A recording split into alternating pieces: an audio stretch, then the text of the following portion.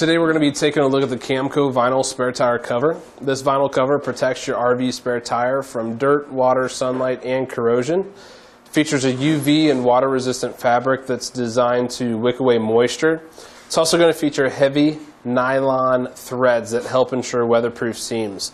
Now the cover is colonial white in color. It easily wipes clean with a damp cloth and mild detergent.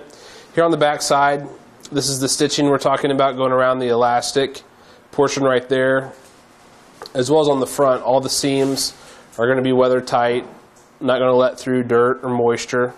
Really nice design. And you can see that it offers a really great fit to the tire itself. So we have this elastic cord here on the back side that allows for an easy installation and ensures a snug fit. On the inside, we're going to have a soft, non-scratch lining. And this cover is designed to fit tires that have an outer diameter of around 28 inches.